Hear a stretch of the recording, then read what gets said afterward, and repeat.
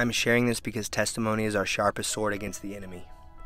The reasoner is bold with the things that he brings into our minds through every avenue, so I will not water down what Jesus has done in my life. I was chained to pornography for 10 years, nicotine for 4, and I struggled severely with crippling anxiety for 3 years, which I felt that I could do nothing about and could often make me throw up without notice. I've stolen, I've scattered dishonor, and I've wounded. Have I been pretty good at hiding all of that? I apologize. That is what the reasoner wanted me to do.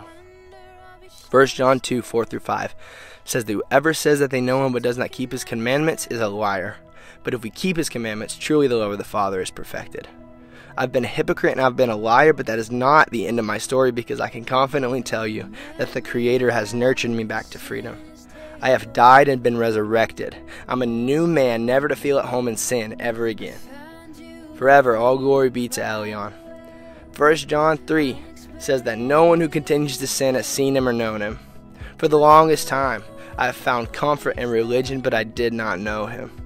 I got to a point where I was so sick of myself and so done with what the world had to offer, and I knew that I needed to get to know him. This is how it happened. About a year ago, I asked the Lord to show me exactly how and where I'd fallen short. He simply and profoundly did that. But if we f- refuse to get uncomfortable, we will miss what He is doing. It broke me all the way down, and the pain quickly turned to hunger, and I started to dig into the Word to find out exactly what I was worth. If you ask God to reveal Himself to you in His Word, He will make it plain and simple to you. He is a good and gentle teacher. We've been lied to our whole lives. We don't just have to be broken sinners that are stuck in this cyclical Christian walk because He heals, He restores, and He breaks chains, and He calls us to walk as Jesus walked, spotless and blameless. It's nothing that I did. 2 Corinthians 5:17 says that if you are in Christ, the new creation has come. The old is gone and the new is here. No matter where I am, people ask me if I'm from around here. I hope it's because I am now living as an ambassador for Christ and that does not look normal to people. I see it in so many others too. You can see it in their eyes that they meet with the King.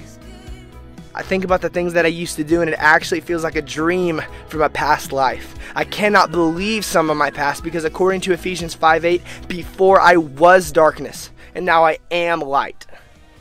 Read the living word, walk as a Christ like one, talk to him. He is a good, good father and would delight in nothing more than to clean your boo boos. Let him be God.